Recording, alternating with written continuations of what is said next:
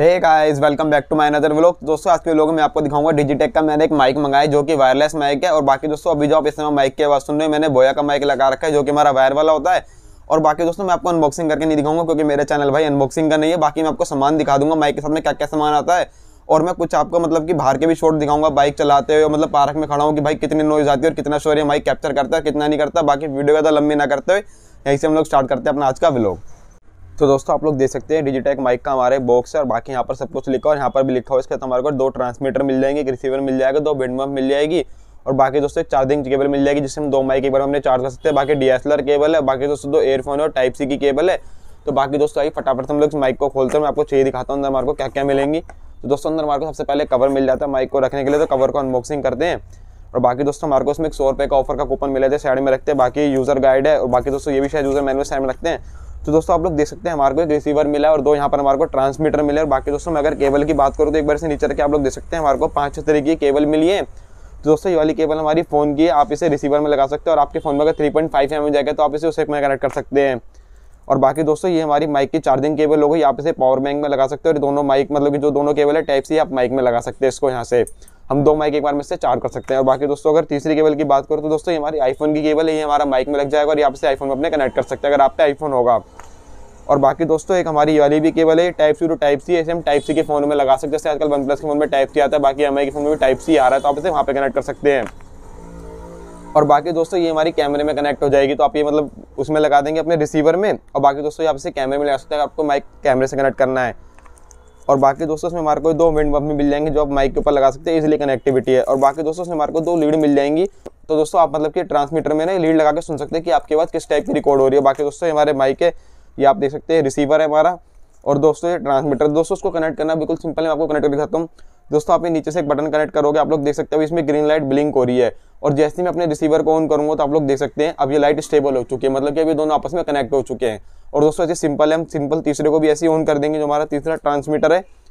तो आप देख सकते हैं दोस्तों, इसकी मतलब लाइट बिलिंग नहीं होगी, ये कनेक्ट हो गई है। तो अब दोस्तों, आपस में तीनों पेयर हो चुके हैं। और दोस्तों, फटाफट से मैं आपके एक बार इस माइक के साउंड सुना देता हूँ कनेक्ट करके। तो दोस्तों आप लोग जो मेरी आवाज़ सुनने वो हमारे डिजिटेक माइक की सुनने आप लोग देख सकते हैं, मैंने डिजिटेक माइक कनेक्ट कर लिया। बाकी दोस्तों, इस माइक में हमारे दो तीन तरीके के फ़ंक्शन हो रहे हैं। मैं आपके एक बार वो भी दिखा देता हूँ माइक बाहर निकाल के। तो दोस्तों, यहाँ पर ना आप लोगों को एक बटन दिखाता हूँ एक बार। तो दोस्तों, आप लोग देख सकते हैं, यहाँ पर आपको एक बटन दिख रहा होगा तो दोस्तों, इस बटन का हम लोग प्रेस करेंगे तो हमारी आवाज़ जीको पे हो जाएगी। मतलब कि जो हमारी बात दो तीन बार सुनाई देती है ना, वैसे मैं एक बार आपको सुना देता हूँ ऑन करके। तो दोस्तों, आप लोग देख सकते हैं, मैंने से अपने माइक का इको ऑन कर लिया। आप लोगों को जो आवाज़ सुनाई दे रही होगी, मेरी ईको पे सुनाई दे रही होगी। और बाकी दोस्तों, अगर हम लॉन्ग प्रेस करेंगे तो इको हमारा ऑफ़ हो जाएगा। तो एक बार हम इको को अपने ऑफ़ कर देते हैं लॉन्ग प्रेस करके फटाफट से।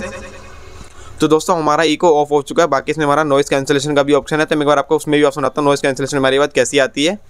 तो दोस्तों, हमारे माइक का नॉइस कैंसिलेशन ऑन हो चुका है। आप लोग जिस समय आवाज़ सुन रहे हो, मैंने नॉइस कैंसिलेशन ऑन कर दिया है। और बाकी दोस्तों, एक बार इसको मैं ऑफ़ करके सुनाता हूँ अपनी आवाज़।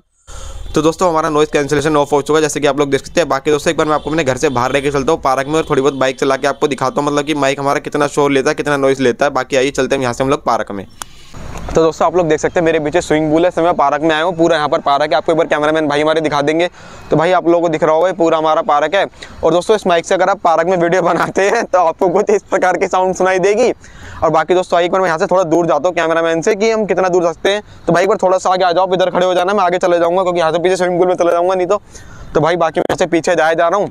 दोस्तों, आप लोग देख सकते हैं कैमरामैन से मैं थोड़ी दूरी पे आ चुका और इस टाइम हमारी वॉइस की क्वालिटी ये आ रही है, क्योंकि मेरे को भी अपनी वॉइस सुनाई नहीं दे रही होगी, क्योंकि मैं एडिटिंग में आके सुनूँगा और बाकी और दोस्तों, जैसे ही मैं उल्टा बोला, मेरी आवाज़ आनी बिल्कुल बंद हो चुकी थी, मैं समय कुछ ना कुछ बोला था बट लेकिन माइक ने मेरी आवाज़ एक परसेंट के लिए भी रिकॉर्ड नहीं करी और बाकी दोस्तों, जो आप मेरी आवाज़ सुने मैंने एडिटिंग के टाइम पे वॉइस बैकग्राउंड में लगाई है।